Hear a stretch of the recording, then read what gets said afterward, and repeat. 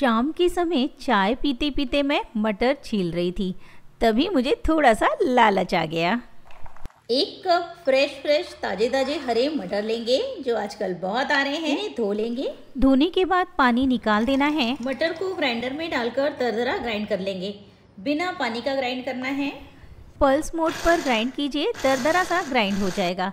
इसे साइड में रखते हैं। आधा चम्मच सौंफ आधा चम्मच साबुत धनिया एक इंच अदरक का टुकड़ा, दो से तीन चॉप्ड हरी मिर्च लेंगे।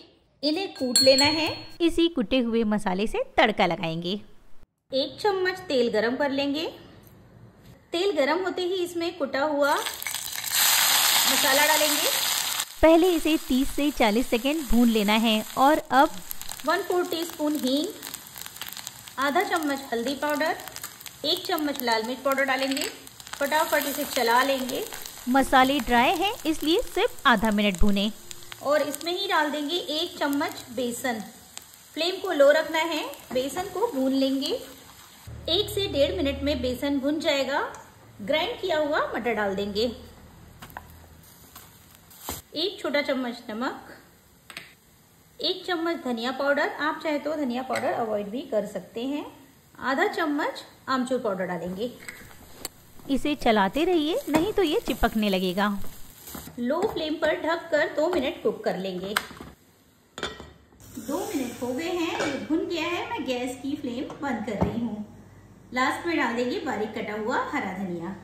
इसे बहुत ज़्यादा ड्राई नहीं करना है, नहीं तो कचौरी में इसका टेस्ट अच्छा नहीं आता है। हल्का सा गीला गीला होना चाहिए। अगर आपको रेसिपी थोड़ी सी भी पसंद आ रही है प्लीज़ लाइक शेयर कीजिएगा। और मुझे ये बताइएगा, आप लोग ये रेसिपी कहाँ से देख रहे हैं? मुझे ये जानना बहुत अच्छा लगता है। स्टफिंग को एक प्लेट में निकाल कर ठंडा होने देंगे। जब स्टफिंग ठंडी हो रही है, इसमें आधा चम्मच गरम मसाला डाल देंगे। मिक्स कर लेना है। आप चाहे तो इसे कढ़ाई में भी डाल सकते थे, मेरा ये साइड में ही रखा रह गया। जब तक स्टफिंग ठंडी हो रही है, आटा तैयार कर लेंगे। मैंने यहाँ पर एक कप मैदा लिया है। इसमें डाल देंगे वन टेबलस्पून सेट किया हुआ घी। मिक्स कर लेंगे। मैदे के एक एक कन में घी लग जाना चाहिए। उसके बाद आप इस तरह से मुट्ठी बाँध कर देखिए। घी में इतना मोयन होना चाहिए, मुट्ठी आसानी से बन जाए। अब इसमें डाल देंगे एक छोटा चम्मच अजवाइन। आधा चम्मच से थोड़ा सा ज़्यादा नमक। थोड़ा थोड़ा पानी डालते हुए सॉफ्ट सा आटा गुथ लेना है। आटे की कंसिस्टेंसी इस तरह की गीली होनी चाहिए। अभी हम इसे गुथेंगे नहीं, सिर्फ़ हमने मिक्स किया है। ढक कर 15 से 20 मिनट के लिए रख देंगे। 15 मिनट हो गए हैं, आटा सेट हो गया है। इसे मसल मसल कर एक बार फिर से चिकना कर लेना है। आटा एकदम चिकना हो गया है। अब आपको जितनी बड़ी कचौरियाँ बनानी है, उतनी बड़ी लोई तैयार कर लेनी है। पाँच से छः लोई बना लेना है। और अब एक एक लोई लीजिए। इस तरह से गोल कर देंगे। और उसके बाद इसे फैला लेना है। साइड साइड से फैलाइएगा, बीच में थोड़ा सा मोटा रखना है।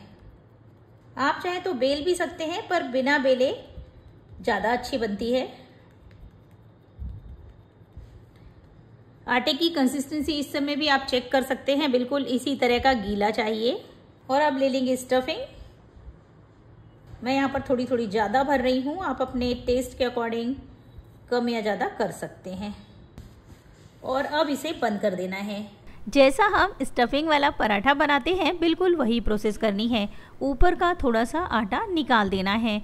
इस तरह से आटा निकालने से कचौरियाँ तेल में फटती नहीं हैं। अच्छे से बंद कीजिए और इसे बीच में दबा दीजिए और अब साइड साइड से इसे प्रेस करते जाइए। कचौरी को थोड़ा सा हमें बड़ा कर लेना है। बीच में से प्रेस नहीं करना है। मैंने यहाँ पर चार कचौरियाँ बना ली है। इसे फ्राई कर लेंगे। फ्राई करने के लिए तेल को गरम करना है। फ्लेम को लो कर देना है। एकदम हल्का सा तेल गरम होना चाहिए। कोशिश कीजिएगा जिस तरफ़ से हमने बंद किया था उधर से डालेंगे। फ्लेम को लो रखना है। जितने कढ़ाई में आसानी से आए उतने ही डालिएगा।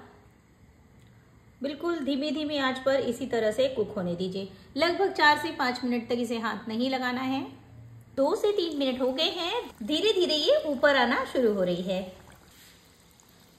एकदम परफेक्ट एक साइड से हो गई है, दूसरी साइड से भी होने देंगे। ये देखिए कितनी फूली फूली गोल मटोल कचौरी रेडी हो रही है। ये अभी नीचे से कच्ची है, इसे तेल में डालकर होने देते हैं।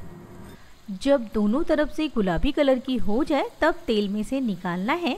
एक्स्ट्रा तेल निकालते हुए छन्नी पर रखते जाइए। छन्नी पर रखने से कचौरियाँ सौगी नहीं होती है, काफ़ी देर तक खस्ता और क्रिस्पी रहती है। गीला आटा गुथने के कारण कचौरियाँ कुक होने में ज़्यादा टाइम लेती हैं। इसकी वजह से ही खस्ता करारी बनती है।